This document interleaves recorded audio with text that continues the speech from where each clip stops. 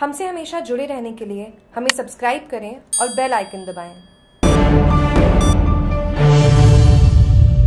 रामनवमी पर निकाली भव्य शोभा यात्रा रामसीन कस्बे के रविवार को विहिप व बजरंग दल के बैनर तले रामनवमी की भव्य शोभा यात्रा सुबह 9 बजे सरिया देवी मंदिर से श्री राम जन्मोत्सव समिति द्वारा दीप प्रज्वलित कर आरती के साथ शुभारंभ किया गया हर वर्ष की भांति इस वर्ष भी रामनवमी के राम जन्मोत्सव को हिंदू समर सत्ता के महापर्व के रूप में मनाते हुए भव्य शोभा यात्रा का आयोजन किया गया। विहिप के नगर अध्यक्ष प्रकाश नागर ने बताया कि शोभा यात्रा व वाहन रैली डीजे साउंड पर श्री राम धुन पर कई वाहनों के साथ राम भक्त चल रहे थे, जिसमें सैकड़ों समुदायों के लोगों ने बढ़ चढ़कर भाग लिया। शोभा यात्रा कस्बे के सरिया देवी मंदिर से होते हुए मेन बस स्टैंड, सदर बाज़ार, प्रजापत चौक मोदियों का चौहटा, सूली का वास, नई सेरी सवरा विजय नगर गोलुआ, विवेकानंद सर्कल, आपेश्वर मंदिर रोड, मेहरों का वास, गंगानगर गोलुआ, पंजी का गोलुआ, सीखवाड़ा सर्कल होते हुए संपन्न हुई वही शोभा यात्रा व वाहन रैली को देखने के लिए